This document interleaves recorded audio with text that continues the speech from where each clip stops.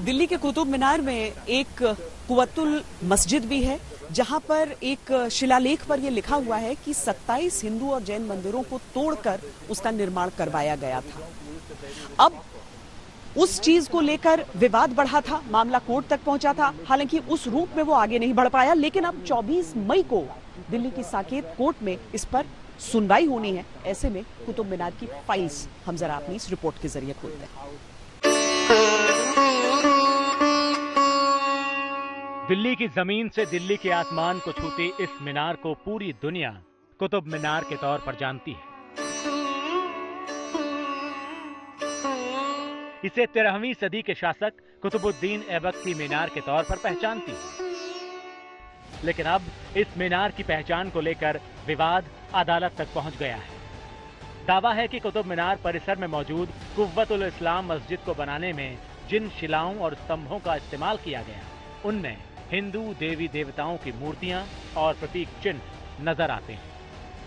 भारतीय पुरातात्विक सर्वेक्षण, यानी एएसआई की ओर से इस धरोहर के परिचय में जो शिलापट लगाया गया है, उसमें भी लिखा हुआ है कि कुव्वतुल इस्लाम मस्जिद के निर्माण की सामग्री 27 हिंदू और जैन मंदिरों के अवशेष से प्राप्त की गई थी। मेरे कोई प्राइवेट डॉक्यूमेंट नहीं है।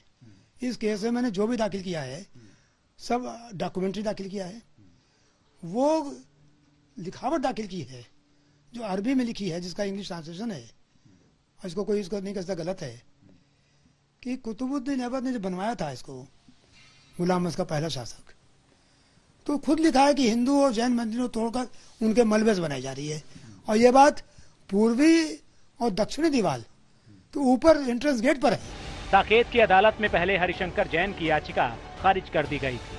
लेकिन हरिशंकर जैन दोबारा अदालत पहुँचे। हरिशंकर जैन कुतुब परिसर में मौजूद तस्वीरों को बतौर सबूत दिखाते हैं। ये देखिए, ये मंदिर मूर्ति है। ये मूर्ति है, ये मूर्ति खंबे है।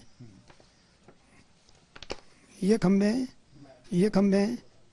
ये सब आपको मूर्तियाँ साफ़ दिख रही हैं। कहीं भी ऐसा नहीं है कि कोई एक पैसा डाउट हो। और ये आई ऐसा ही किताब में है। साफ़ दिख रहा है, ये साफ़ दिख रहा है। ये साफ़ दिख रहा है? इसकी लोकेशन भी अभी तक वही है या वही वही वही वही।